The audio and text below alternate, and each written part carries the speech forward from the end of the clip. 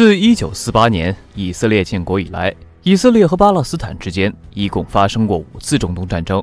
直到1993年，经国际社会多方斡旋，双方矛盾才得以转圜，签署了和平协议。如今二十多年过去了，该地区的流血事件并未停止，和平前景仍然渺茫。圣经里曾将巴勒斯坦描述为流着奶和蜜的地方，可这个一度富饶的地区却经历了半个多世纪的战火和硝烟。反观以色列，建国仅七十余载，便成为中东地区唯一的发达国家。即便如此，其强大的经济和科技依然得为战争买单。事实上，巴以冲突背后隐藏着的历史根源，既关乎国家利益、民族恩怨、宗教矛盾和领土争端，更关乎大国博弈。各种错综复杂的问题相互影响激荡，使得巴以冲突的复杂性非同一般。所以，本频道也开启第一系列的战争风云录。中东战争为大家讲述中东战争的始末。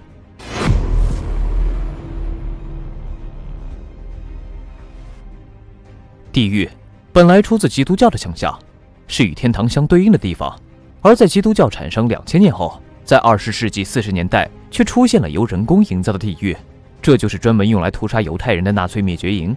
党卫军就是建造地狱的人。二战中，纳粹总共在欧洲修建了三十多座集中营。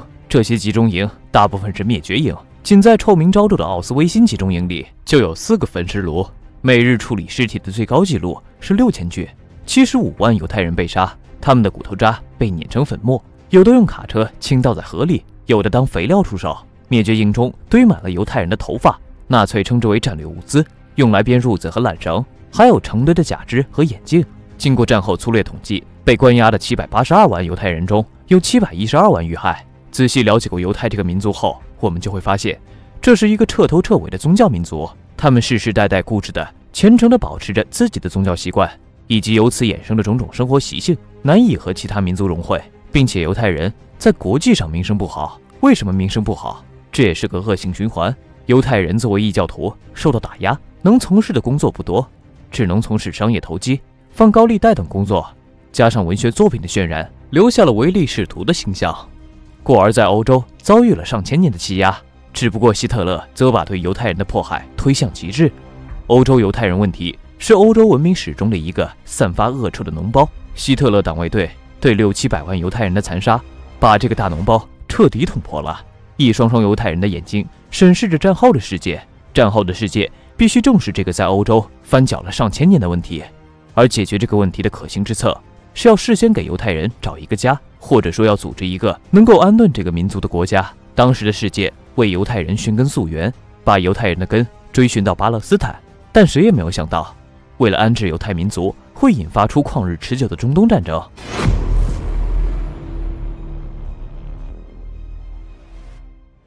巴勒斯坦位于地中海东岸，在漫长的岁月中，这片土地曾被希伯来人、巴比伦、波斯、希腊。罗马等外族轮番占领，但最终全被驱逐出巴勒斯坦。后来的阿拉伯人不断迁居巴勒斯坦，与土著同化，使得巴勒斯坦正式成为阿拉伯帝国的一部分。生活在这里的居民是属于阿拉伯民族的巴勒斯坦人，他们日出而作，日落而息，一代又一代阿拉伯巴勒斯坦人在这里悠闲自在地繁衍生息，是这里的当然主人。但巴勒斯坦的问题在于，这里也没有形成过成型的国家。所以在帝国主义出现后，在老牌资本主义国家英国看来，巴勒斯坦就是一片无主的土地。英国政府则支持阿拉伯人战后在巴基斯坦建立独立国家为条件，换取阿拉伯人的支持，控制了巴勒斯坦的圣城耶路撒冷。巴勒斯坦沦为英国的殖民地，在英国控制之下的巴勒斯坦，从近代到现代，这里的人们生活方式几乎是停滞的过去。女人用水罐打水。现代的巴勒斯坦妇女仍然把水罐顶在头上，唯一的变化是，英国即将要让巴勒斯坦成为犹太人的民族之家。此时的英国赞成巴勒斯坦建立一个犹太人国家。第一次世界大战后，来自欧洲的第一批犹太人在巴勒斯坦登陆，举目四望，天海茫茫，能够成为犹太人故乡、故园与故土的只有巴勒斯坦。他们在西方资本主义强国的安排下，开始在靠近地中海的地方建设定居点。他们以犹太人固有的勤奋精神，一砖一瓦地建起新家园。他们在定居点附近购买荒地，当年就能收获庄稼。勤劳的犹太人数量虽小，但能量巨大。他们带来了欧洲文明的典型产物——公共汽车。公共汽车第一次出现在耶路撒冷的街道上，接着就是火车。甚至耶路撒冷长期被伊斯兰统一的情况下，现在出现了大规模的犹太教布教宣道活动。而比起宗教冲击更大的是资金。犹太人自古从事放债业务，积累了丰富的金融实力，他们带来的资金有可能左右巴勒斯坦的经济命脉，这引起了阿拉伯人的反抗，冲突也越来越多，甚至逐渐发展成了内战。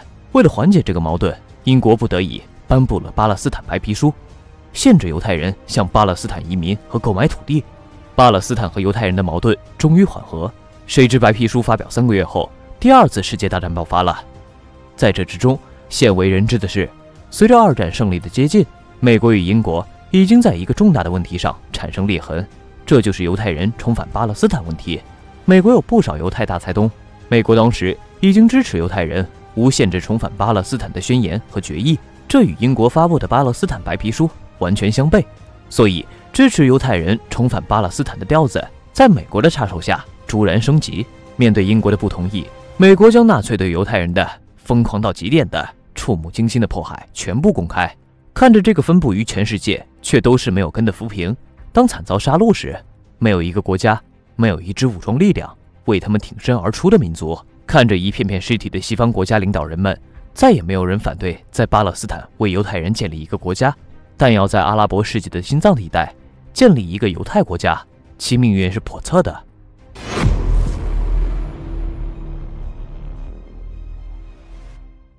第二次世界大战以前，欧洲大约有一千两百万犹太人。战争中被纳粹屠杀的犹太人就占一半以上。战争结束后，幸存的五六百万人四处漂泊，大部分人无家可归，街头成为了他们的大食堂。距离犹太人重返巴勒斯坦还差最后一步。英美在巴勒斯坦问题上的分歧，说到底是美国要求在这里分别成立犹太人与阿拉伯人的国家，而英国则坚持保留巴勒斯坦的完整，不允许犹太人往那里移民。但没落的大英已无力阻止美国的决定，无奈的英国政府决定把巴勒斯坦问题提交联合国讨论。从这时起，英国政府的巴勒斯坦白皮书部分作废，第一批犹太移民也正是在巴勒斯坦码头登陆，他们是有备而来。带的行李不多，但有犹太财团的财政支持，他们得以大片购买巴勒斯坦人的土地。不少巴勒斯坦人把土地卖给犹太移民，而后用敞篷的平板车拉着可怜的家当离去。但巴勒斯坦人并没有意识到，他们出卖的土地以后会成为犹太国家的国土。一九四五年五月，设立在纽约的联合国总部召开特别会议，讨论巴勒斯坦的前途问题。罕见的是，一样与美国不对付的苏联。竟然支持美国的分治方案，美苏在巴勒斯坦问题上一致的立场，让犹太国问题第一次从朦胧间变得清晰起来。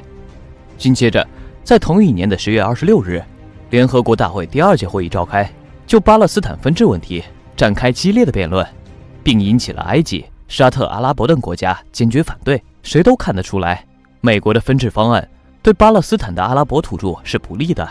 阿拉伯土著约有一百二十万人。只拥有总面积的百分之四十三，而且被割成互不相连的几块，大部分是丘陵。